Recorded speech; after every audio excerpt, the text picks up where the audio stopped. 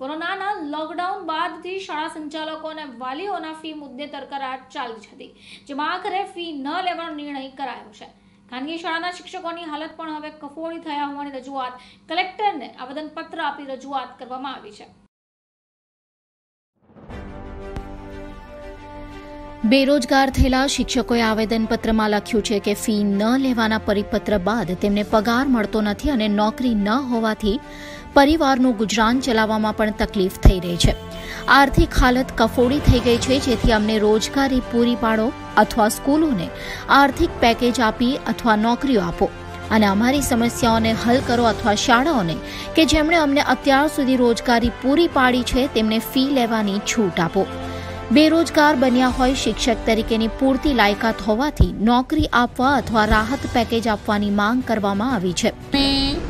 જે આ બે દિવસથી મુદ્દો ચાલે છે હાઈકોર્ટના આદેશનો, એના સંદર્ભમાં માન્ય કલેક્ટરશ્રીને વિનમ્રપણે રજૂઆત કરવા આવ્યા છે કે જો અમને સાંભળવામાં આવે અને એનો કોઈ વચ્ચેનો માર્ગ નીકળી શકે વાલી અને શાળા એવો સમાજ છે કે જેનાથી સમાજ અડીખમ ઊભો છે. બાળકોના શિક્ષણનો પ્રશ્ન જે ઊભો થયો છે, એનું કંઈક હલ નીકળે અને ઓલરેડી આટલા દિવસોથી આટલા મહિનાઓથી બાળકોનું શિક્ષણ કાર્ય ચાલુ છે.